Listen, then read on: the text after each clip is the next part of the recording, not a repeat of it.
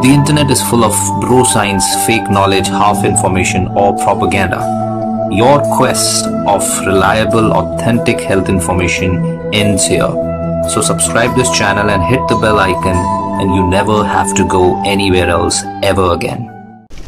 Hello everyone, how are you today? I am Dr. Paramjeet and you're watching Dr. Education. Friends, we have already started a series about explaining you what abnormal complete hemogram, abnormal test results mean? And today I'm going to talk about the WBCs. Uh, we've already talked about RBCs, hemogram, hematocrit, hemoglobin. So you can just watch the previous videos in the series.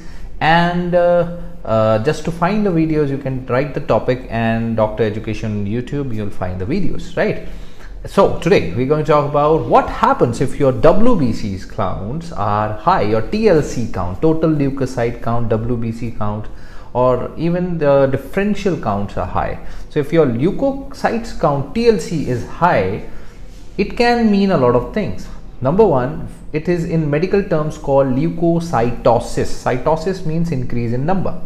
Leuco is WBC, white. Leuco means white. Leukocytosis means WBCs are high in number. That can happen because of infections. Any kind of infections, bacterial most probably, most commonly bacterial, even some types of uh, uh, parasitic infections, other infections, the uh, WBC count can increase.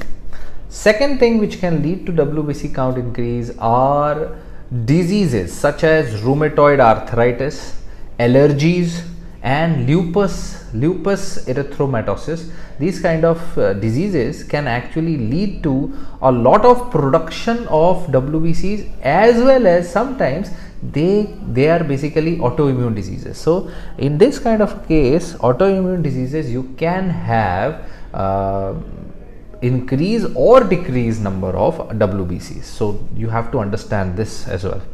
Then uh, there is there are medicines. Medicines like steroids corticosteroids. If you take steroids by any means corticosteroids can lead to increased number of WBCs and because steroid is a stress hormone and stress hormone any kind of stress in your body actually uh, increases the amount of these WBCs because your body interprets stress like a threat and prepares itself to fight right? That's why increases the number of WBCs then WBCs TLC count can also increase in physical stress as well as emotional severe emotional or physical stress. Not not any mild mild emotional if there is a severe emotional stress or severe physical stress very debilitating stress then that can happen.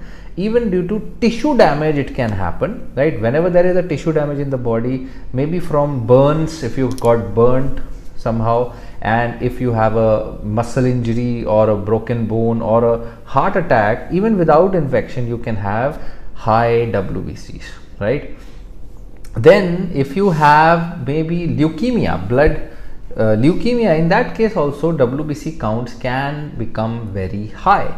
So and th these are all the things which can lead to high WBC so you have to find out whether you're taking any medicines any supplements any infections any chronic systemic diseases, leukemias, severe emotional or uh, you know physical stress and tissue damage. So these are all the reasons for a high WBCs and other tests give us an idea, a clue what could be the diagnosis, the differential diagnosis and then we can go forward and pinpoint the cause and treat it accordingly.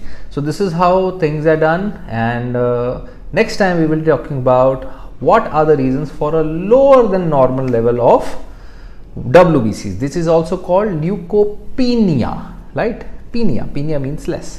Thank you so much for watching. Stay connected. Stay healthy.